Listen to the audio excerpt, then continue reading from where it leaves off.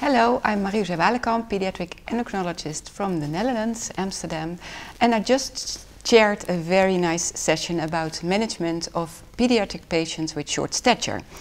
And one of the most interesting lectures there was given by Professor Margaret Boguszewski, and she uh, told us about the new consensus uh, meeting from the Growth Hormone Research Society.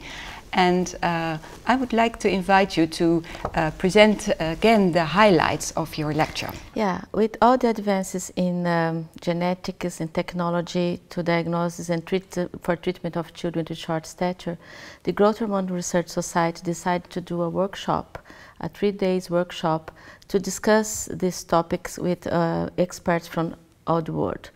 So the, the workshop was in Lisbon in March this year, and we discussed about the, the, the, the importance of uh, clinical uh, data, history, uh, all the information about genetics and all growth hormone measurements and all these things. And it was very important to have this symposium to present our uh, consensus or not maybe a consensus, but our guidelines for, for this, these topics. It was very interesting to, to share with everyone our, um, uh, what we got from the, the, the, the meeting and the, what we have in our publication that was published this year. It was very interesting. Okay, thank you.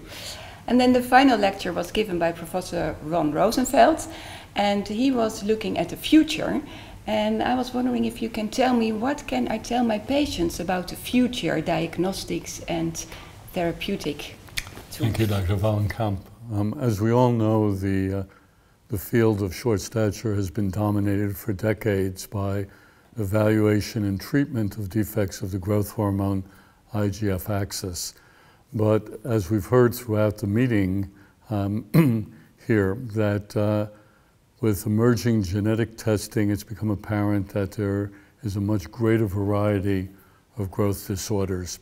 Some of the evaluation procedures that will emerge over the next few years, in addition to genetic testing, include new growth hormone stimulatory tests, and some of the emerging therapies will be longer acting growth hormones, uh, perhaps longer acting IGF 1 products, and in addition, uh, exciting investigations about the potential utility of C-natriuretic peptide for the management and treatment of various skeletal dysplasias and other growth disorders.